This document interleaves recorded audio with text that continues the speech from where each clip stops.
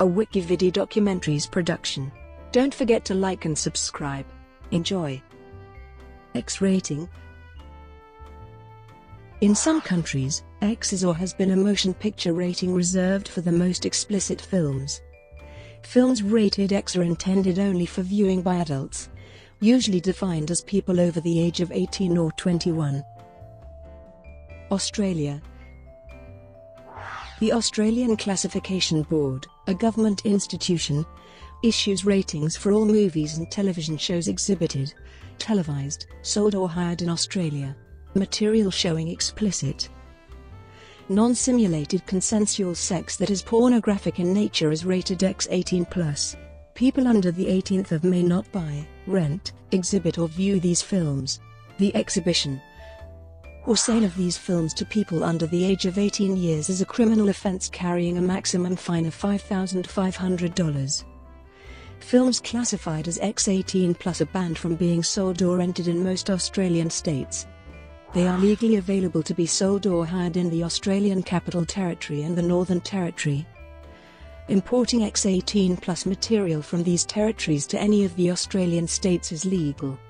As the Constitution forbids any restrictions on trade between the states and territories, the X18 plus rating does not exist for video games. France Films may be shown in theaters in France only after classification by an administrative commission of the Ministry of Culture. In 1975, the X classification was created for pornographic movies or movies with successions of scenes of graphic violence. The Commission has some leeway in classification. It may for instance take into account the artistic qualities of a movie not to count it pornographic. Movies with an X rating may only be shown in specific theaters. They bear special taxes and tax rates, including a 33% tax on revenue. In 2000, some conservative associations sued the government for granting the movie Baise-moi, which contained graphic, realistic scenes of sex and violence, a non-X classification.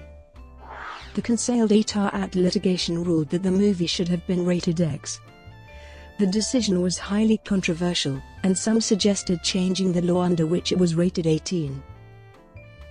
United Kingdom The original X certificate, replacing the H certificate, was issued between 1951 and 1982 by the British Board of Film Censors in the United Kingdom. It was introduced as a result of the Wheare Report on film censorship. From 1951 to 1970, it meant suitable for those aged 16 and over, and from 1970 to 1982 it was redefined as meaning suitable for those aged 18 and over. The X certificate was replaced in November 1982 by the 18 certificate. Sometimes the rating of a film has changed significantly over time. For example, the French film Jules and Jim received an X rating in 1962 that was changed to a PG rating in 1991. In some early cases, films politically motivated received an X rating. The battleship Potemkin was rejected for inflammatory subtitles and Bolshevik propaganda in 1926, rated X in 1954, and finally rated PG in 1987. United States In the United States, the X rating was applied to a film that contained content judged unsuitable for children, such as extreme violence, strongly implied sex, and graphic language. When the MPAA film rating system began in America on November 1, 1968, the X rating was given to a film by the MPAA if submitted to it or due to its non-trademarked status. It could be self-applied to a film by a distributor that knew beforehand that its film contained content unsuitable for minors. From the late 1960s to about the mid-1980s, many mainstream films were released with an X rating such as Midnight Cowboy, Medium Cool, Last Summer, Last of the Mobile Hot Shots, Beyond the Valley of the Dolls, A Clockwork Orange, Sweet Sweetback's Badass Song, Fritz the Cat, Last Tango in Paris and The Evil Dead. The threat of an X rating also encouraged filmmakers to re-edit their films to achieve an R rating. One notable example of this was the 1987 satirical action film RoboCop, which had to be edited 11 times before it could attain an R rating because the X rating was not trademarked. Anybody could apply it to their films, including pornographers, as many began to do in the 1970s, as pornography began to become chic and more legally and commercially tolerated. Pornographers placed an X rating on their films to emphasize the adult content. Some even started using multiple X's to give the impression that their film contained more graphic sexual content than the simple X rating. In some cases, the X ratings were applied by reviewers or film scholars, and more William Rotsler, who wrote, The 30th rating means hardcore, the 20th rating is for simulation, and an X rating is for comparatively cool films.